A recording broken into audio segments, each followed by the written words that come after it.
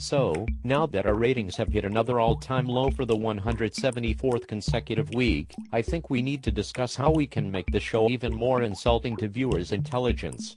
So Ron, how about it eh? What's next for the one veteran character story I allow you to run concurrently with teens and young adults with IQs in the 60s? Brian, I have so much history I want to butcher.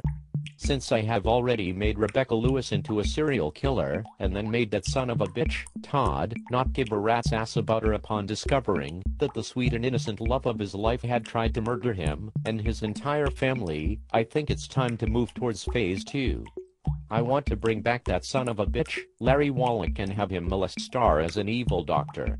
I will recast him, and then write him nothing like the original character. The best part will be when nobody in Llanview is surprised.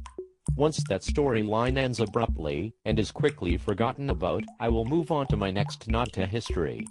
Maybe I'll bring that bitch, Luna, back from the dead, and have her stab Marty.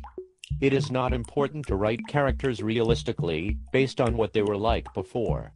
It is only important to bring them back every now and then. Like how I bring back that son of a bitch RJ Gannon, and that son of a bitch David Vickers, and give them hardly any scenes. Popular characters are not the ones you want to write stories for. They are there as props. This way, we'll keep old viewers watching the show, by tricking them into thinking we're acknowledging the past, but in reality we're just making a caricature of classic stories. Ah, nothing like throwing old characters from the show's beloved past under the bus for no reason whatsoever. Now this sounds like something I can get on board with.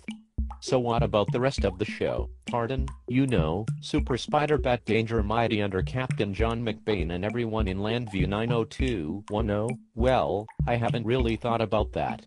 With God, I mean, John McBain, I usually jack ideas from old clips of Batfink.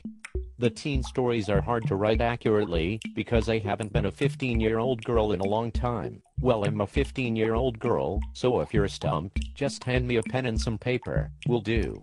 And I did what you asked, I kept Gigi from telling that son of a bitch Rex about that bitch Stacy, because she's afraid of God killing Shane for breaking her promise, that she would break up with that son of a bitch Rex.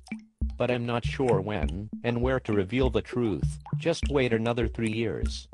Drag it out until the fans don't care anymore. You don't need to reveal any of your secrets on a soap opera, that's antiquated thinking. Anyway, I just wanted to call you in here, to remind you of our mission on One Life to Live.